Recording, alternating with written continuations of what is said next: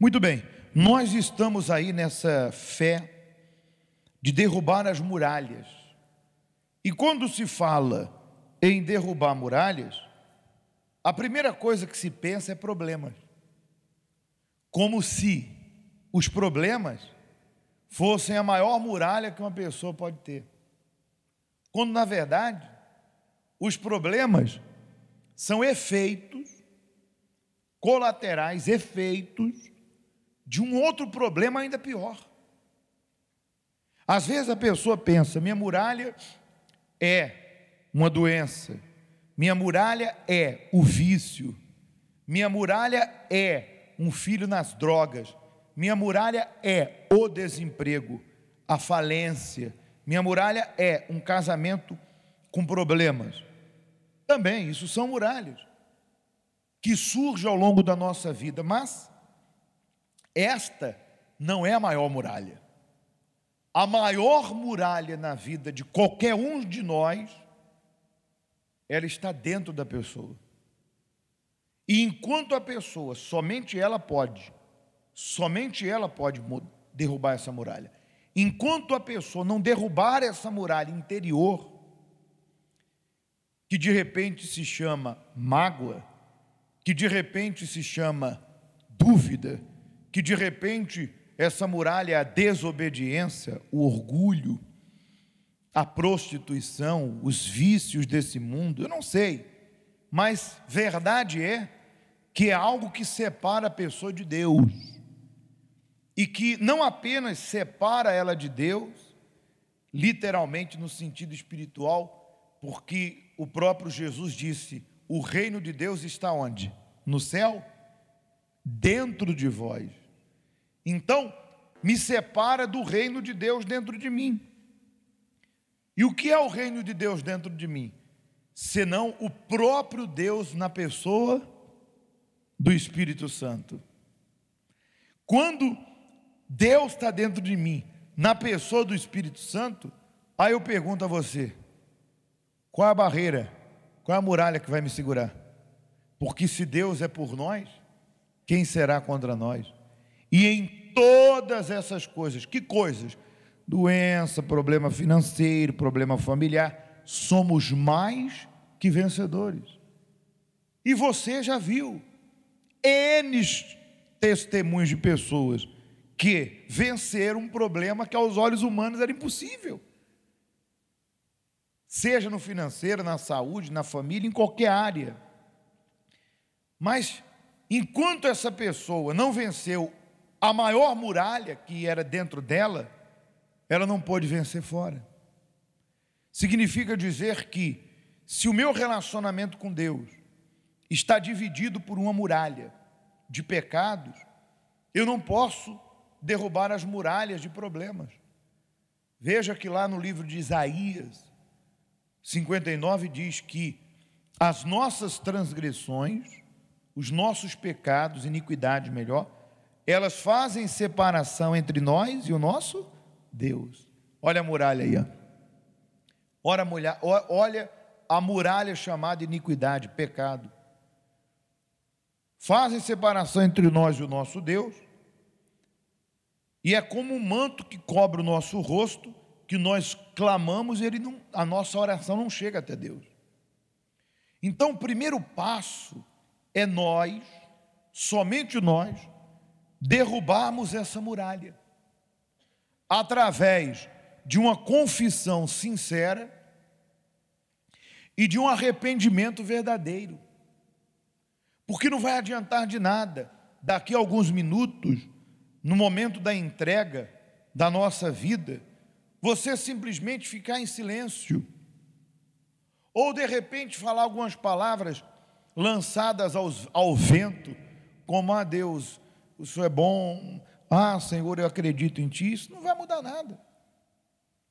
É preciso eu ir a Deus e olhar nos olhos de Deus e dizer: Senhor, eu tenho feito a Tua vontade. E eu estou aqui porque eu preciso do Teu Espírito, porque eu tenho te agradado. Eu abri mão do pecado, do mundo, e eu preciso do Teu Espírito. E você que apagou o Espírito, olhar nos olhos de Deus e dizer: Senhor, eu estou aqui porque eu preciso voltar ao primeiro amor. Eu preciso voltar a quem eu era no começo da minha fé. Eu preciso recuperar aquela comunhão, aquela intimidade que eu tinha desde o princípio.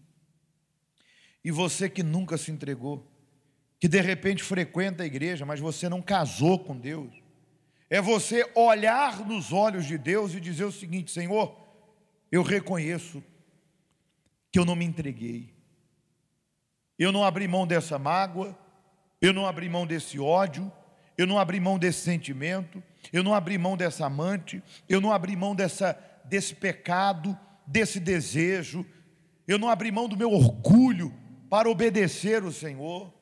Eu frequento a tua casa, mas eu não me entreguei por inteiro. Então, somente a pessoa pode ir até Deus e derrubar essa muralha que separa ela de Deus. E neste texto de Colossenses, o Espírito Santo, através do apóstolo Paulo, creio eu, disse para aquele povo daquela igreja o que era necessário eles fazerem para serem aceitos por Deus. E ele começa no versículo 5 dizendo assim: ó, mortificai. Na outra versão fala: fazei morrer, pois os vossos membros que estão sobre a terra.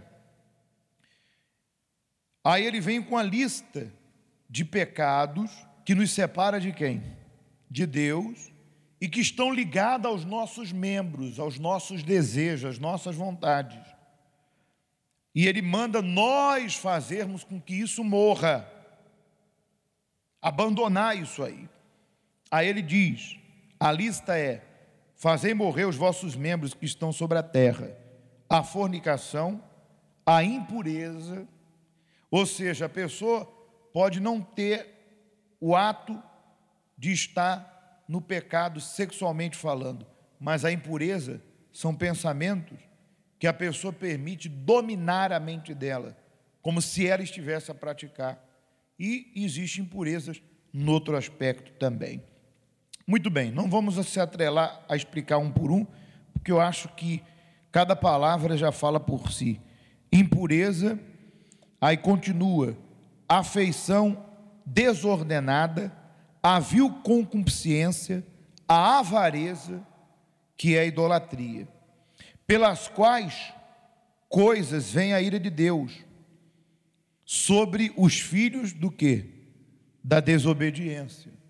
Então, estas coisas que nós acabamos de ler, elas nos separam de Deus. E não é Deus quem vai tirar da minha vida isso.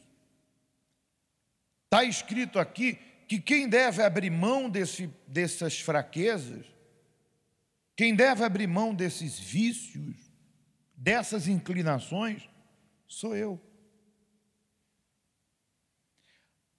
A pessoa se considera um filho de Deus. Mas aqui diz que existe o filho da desobediência.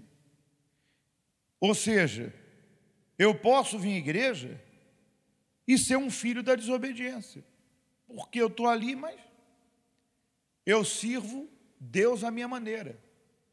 Se calhar eu faço, se não calhar eu não faço. Eu não me comprometi com Deus.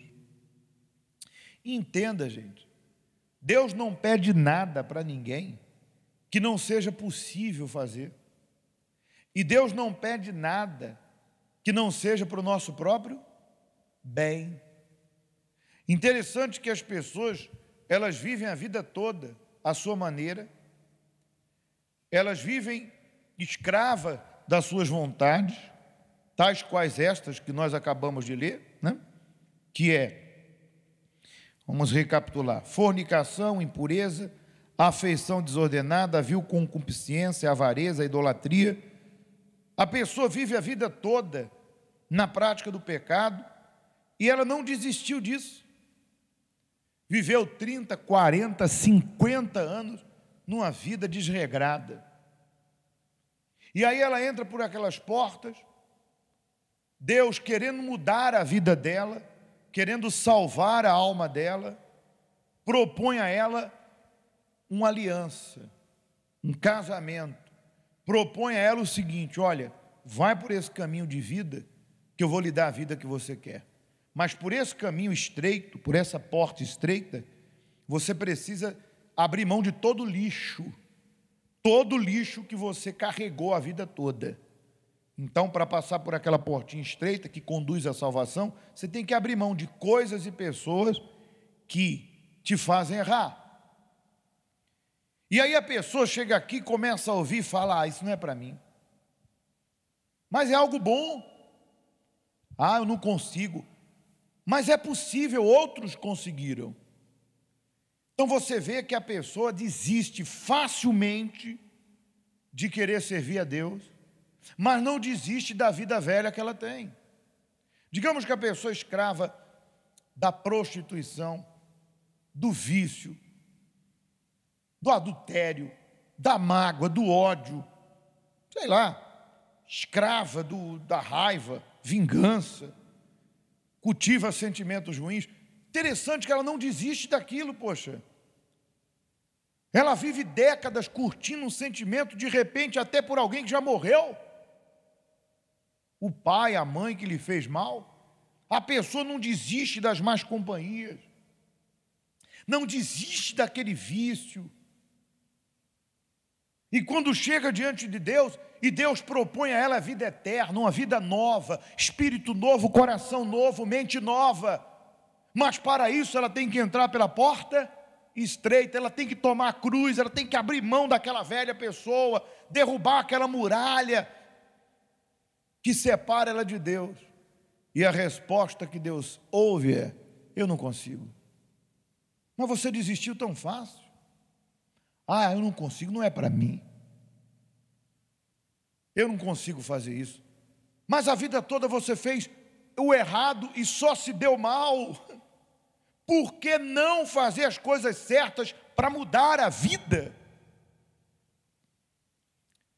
E aí a pessoa até vem à igreja um período, gosta do que o pastor fala, sente-se bem aqui dentro, mas não quer entregar a vida para quem? Para Jesus. Quando sai pelas portas, torna a ser quem é. E entre você e Deus continua havendo uma muralha. Porque Deus, ele disse: Chegai-vos a mim, e eu chegarei a vós outros. Tornai-vos a mim, obediência, confiança, que eu me tornarei a vós outros. Gente, não há, não há mistério, não há nenhum bicho de sete cabeças para a pessoa mudar de vida. O problema é que o ser humano é cabeça dura, o ser humano é orgulhoso, Está lá no Salmo 81, se não me falha a memória. Deus disse: Ah, se meu povo me escutasse. Quem não escuta é porque é teimosa. Ah, se Israel andasse no meu caminho. Quer dizer, existe o caminho de Deus e o meu caminho. Mas há caminhos que para o homem lhe parecem bons. E no final diz o provérbio: é caminho de quê? De morte. Quantas pessoas que bateram no peito e disseram, estou certas, e estavam erradas. Quantas pessoas, eu boto a mão no fogo para fulana, queimou sua mão. Bem feito para você. Porque maldito o homem que coloca a sua confiança em outra pessoa. Quantas pessoas que dizem, não, isso aqui está correto, está certo, eu vou fazer assim, eu sei o que eu estou fazendo. E você não sabia o que estava fazendo. E deu tudo errado. Aí agora Deus lhe propõe o certo, o verdadeiro, para você fazer a coisa certa, o caminho verdadeiro. Ah, não, não é para mim. Por isso que lá no livro de Timóteo 2, não me falha a memória, quando Deus fala que nos últimos tempos sobreviriam tempos difíceis, porque os homens seriam egoístas, avarentos, ingratos, desafeiçoados, desobedientes aos pais, caluniadores, cruéis, inimigos do bem, etc mas tendo forma de piedade, carinha de santo, eles demonstram a piedade que eles não têm. Aí o, o, o apóstolo diz assim: foge destes, ou seja, longe daqueles que querem o mal. Longe de quem quer o mal. Eu não vou andar do lado de uma pessoa que quer o mal. Eu posso conviver numa sociedade onde eu trato bem as pessoas, eu tenho familiares meus que não são salvos e que eu estou pedindo a Deus para que salve eles, convivo com eles, seja de que forma for, seja num jantar, seja em, em uma festa comemorativa. Agora, coadunar, participar do que eles fazem, fazer o que eles fazem, negativo. Não é porque eles querem pegar a vida deles e atirar a própria sorte que eu devo fazer o quê? O mesmo. Não é porque eles querem pegar a vida deles e jogar na lata do lixo, literalmente falando, que eu vou fazer o mesmo que eles fazem. Mas não foi isso que a religião ensinou? Quantas pessoas que nós vamos falar de Jesus para elas, e elas dizem assim: Não, eu tenho minha religião. E a gente fala: Não, mas não estamos falando de religião, estamos falando de mudar de vida, de ser feliz. E a pessoa diz assim: Não, eu, eu, eu sigo a religião dos meus pais. Como se os pais dela tivessem alguma referência de Deus na sua vida. Porque a boa parte dessas pessoas vieram de lares destruídos, famílias destruídas, onde o pai e a mãe nunca tiveram referência de uma vida conforme a vida que Deus promete. Porque Deus promete uma vida miserável, Deus promete uma vida amarga, Deus promete uma vida destruída, e eu e você sabemos, eu vim de um lar assim, o que, que meu pai e minha mãe tinham para me dar? Nada. Literalmente foram pessoas extremamente problemáticas. Me deram sim maus costumes, maus hábitos, vícios, raiva, culpa, sentimentos ruins. Por quê? Eu não culpo, porque havia um mal na vida deles. Tão prova que havia que minha mãe andava metida na bruxa. Coitada um cego guiando o quê? Outro cego. E aí eu vou bater no peito e falar: eu sigo a religião. Deus me livre. Eu vou seguir o caminho que vai me fazer feliz. E se infelizmente eles abriram mão desse caminho, eu não irei abrir mão deste caminho. Deu para entender? Quem dá a entender? Então, levante a bandeira de Deus. Levante a bandeira de Deus em se orgulhar, espiritualmente falando, porque, como diz, se alguém se valer, se orgulhar, que seja por servir a quem? A Deus. Então, continuando aqui, diz assim, ó, é, versículo 7. Vamos voltar ao 6. Pelos quais vem a ira de Deus sobre os filhos do quê? da desobediência, nos quais também eu outro tempo, nos quais também em outro tempo andaste, quando viveis nelas. Mas agora despojai-vos. O que é despojar? Largar, deitar fora. Despojai-vos também tudo isso. Aí vem mais uma lista de coisas que são barreiras que nos separam de Deus, são muralhas. Despojai-vos de tudo isso: ira, da cólera, da malícia, da maledicência, tem gente que tem a boca suja, não tem? Das palavras torpes das vossas bocas, correto? Não mintais uns aos outros. Tem gente que a vida dela é em cima da mentira. Pois que já vos despedistes do velho homem. A mentira é coisa do velho homem. Com os seus feitos, se despediste do velho homem com os seus feitos. E vos revestistes do novo, do novo homem que se renova para o conhecimento, segundo a imagem daquele que o criou. Veja que nós todos temos que nos despedir de tudo isso, derrubar essa parede que nos separa de Deus. Porque, senhora, senhor, quando a muralha que me separa de Deus, chamada ira, maledicência, mentira, prostituição, impureza, linguagens obscenas, enfim, mágoa, seja lá o que for. Quando essa parede da desobediência, do orgulho, cai por terra, então, verdadeiramente, eu tenho acesso a quem? A Deus, e eu tenho uma comunhão plena com Deus. E aí, tem como eu não ser feliz? Tem como minha mente não ser nova? Tem como meu espírito não ser novo? Tem como o meu interior não ser novo? Não tem como. Porque se já não existe nada entre eu e Deus que nos separe, mas existe sim respeito, temor, então Deus vai estar dentro de mim. Em tudo eu vou vencer. Eu vou vencer minhas dúvidas, meus medos, desafios, porque problema vai vir. Deus vai me orientar para saber qual é a decisão certa a tomar. Deus vai falar comigo, igual, está a falar agora, através dessa palavra. Não tem como eu viver a deriva, como um barco. Já viu barco à deriva, que não tem leme nem vela, não tem nada, e é levado pelas ondas? Tem gente que é assim. Um dia, vai para lá, ela vai. Olha, pensa assim, ela pensa. Olha, acha desse jeito, ela acha. Não. Quando você tem Deus dentro de você, você não é levado pelo vento das opiniões alheias. Você sabe, você tem os pés aonde? No chão. Eu sei o que eu estou fazendo. Eu estou fazendo o que é certo e não tem como dar errado. Por isso, nesse momento agora, nós vamos derrubar todas as barreiras, entregando nossa vida por inteiro a Deus. Se você já está nessa fé, você vai buscar estar mais forte do que nunca.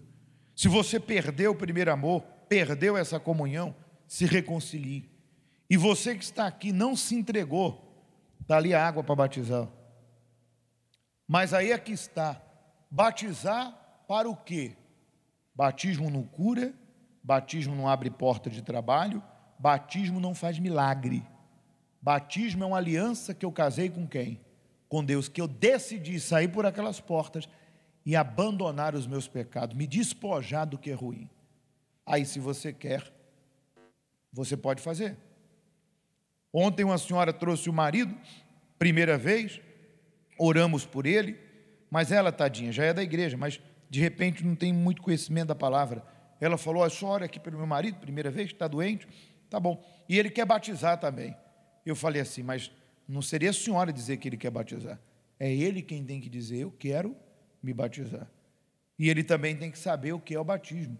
É um compromisso de abraçar a fé em Jesus e largar o pecado. Então, senhor, pensa sobre isso e tome a sua decisão por conta própria. Ninguém tem que dizer que eu tenho que batizar eu quem tenho que decidir por mim. Amém? Por isso que nesse momento nós vamos fazer a nossa entrega. E se você tem algum problema para resolver, essa é a hora. Resolva com quem? Com Deus, entregando sua vida por inteiro a Ele.